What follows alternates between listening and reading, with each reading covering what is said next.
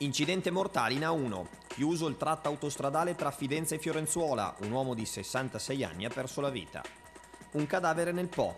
Potrebbe essere il corpo di una cinquantenne scomparsa a Pavia alcuni giorni fa, affiorato oggi a Isola Serafini. Aperte tutte le ipotesi, indagini in corso.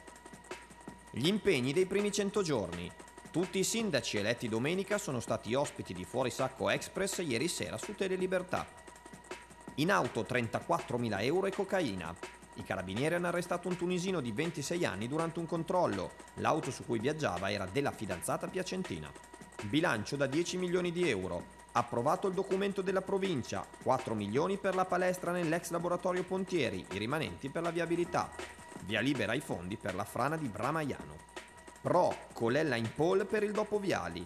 Dopo l'approdo del tecnico milanese al Sud Tirol è caccia aperta al successore. L'ex Renate rientra in un folto gruppo di candidati. In casa Piacenza, Franza ad un passo.